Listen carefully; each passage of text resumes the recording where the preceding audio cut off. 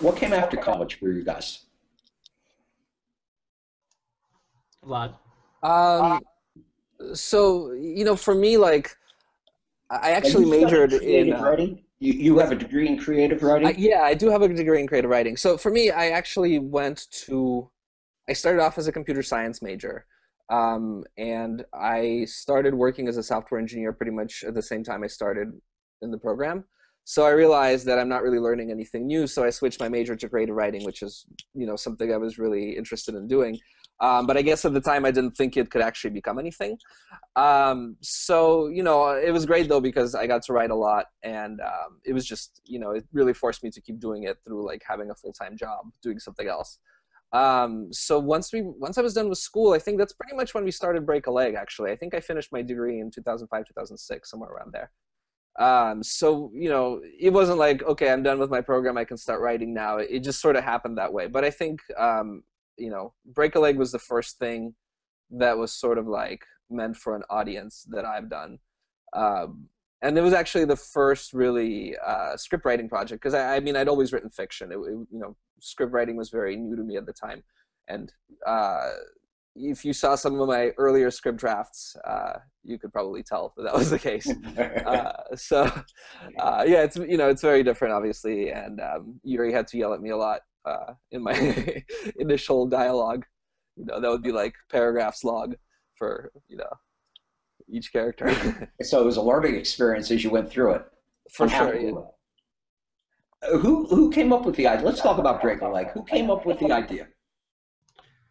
Um, I think the kernel of the idea, I it just popped into my head. I just wanted to do a dark comedy about like a like a sitcom that was really dark, where people would die, and it was more of an adventure sitcom and it was just something that popped into my head that I, I didn't think we would just we would do at any point. It was just something like, oh, maybe one day that'd be fun. And then when there was a a contest to make a web series, it was the thing that I had. So we, you know, it was just again, it was that kernel of the idea, and then Vlad and I sat down and kind of hammered out the, the story and stuff.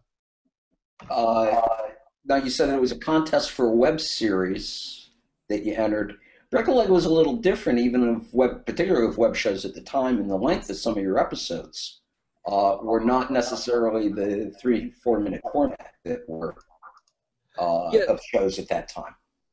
Yeah, we approached it as you know we took it to mean uh, a TV series. So we, uh, you know, of course, the the pilot itself that we wrote for the contest, they had a limit of five minutes. So we wrote something that was five minutes. It wasn't really something that we saw it as, I guess. So um, after we didn't win the contest, then we, we really just wrote what you know we felt like it should be, which is a 30 minute show.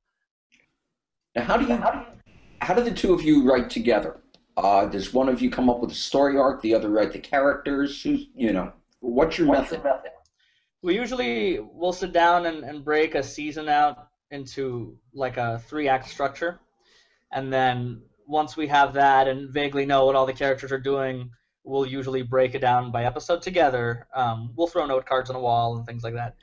And uh, and then once we have all the basic information, it looks like episode, this. Yeah, there you go. That's for a series that we recently are we're working on. Yeah. So uh, and then we just split up the episodes evenly. Uh, we usually kind of we we always start out doing like um, kind of just switching off. I'll do one, you do two, but it always ends up. It seems to happen that I tend to write the beginning and the ends, and Vlad writes the middle. We just seem to be better at that for some reason. But you know, we keep wanting to switch, but it hasn't happened yet. did you work the same way on Leap Year that you did on uh, Break a Leg with that? In that way? I think we worked better on Leap Year because we. Yeah, I think yeah. on Break a Leg it was just like, I'll write the next episode and we'll see what happens, and then you go from there, and then I. So it was more just kind of free, a free for all. Uh, in Leap Year, we've, as we've evolved as writers, you know, we've gotten better at organizing ourselves and getting better with structure and plot, and, and that includes planning more. So. No, no Break a Leg you did on very little budget, or a very small budget. Yeah, and, and no budget really. I mean, we we the two other owners of the company, Justin and Dashiell, uh, uh worked at a university um, and they they were in their tech department and at one point the university was buying like a camera and gear to like film professors and they just wanted a dinky camera but they had a ton of money and they were like what do you guys suggest we buy and they were like, "You should buy this," which is it was called an HVX, and it's like a higher end prosumer film camera.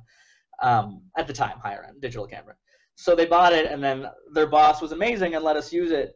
And so we borrowed that. We borrowed the lights. We shot a lot of things at the university. Um, and you know, we just like I think I think one of uh, Dashiell's mom, Dashiell's mom gave us money for food for a while. We had like five hundred dollars for craft services, and uh, we just put our own money into it. I mean, we we never had any until very much later, near almost the end of it, did we have any money coming in. But in the beginning, we just we had full time jobs and would just shoot late at night.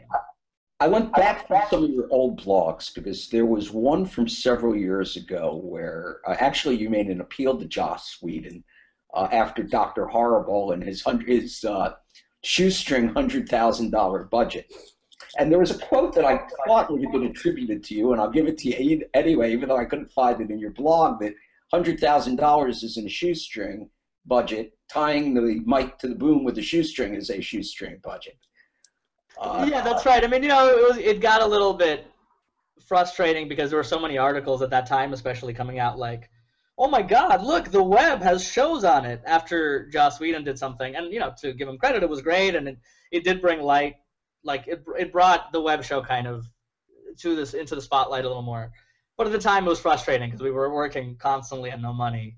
And they're like, look at what he managed to accomplish with no money at all. He only called in favors to shoot on giant sets and sound stages and had all these stars in it, you know. So it was a little bit like, okay, I mean, it's still a professional thing. It's not, you know, he's not an indie filmmaker. So, you know, it's funny because that was a few years ago, and now I find myself making the argument that hundred thousand dollars is shoestring budget. like I find myself in meetings saying, you know, we can't produce.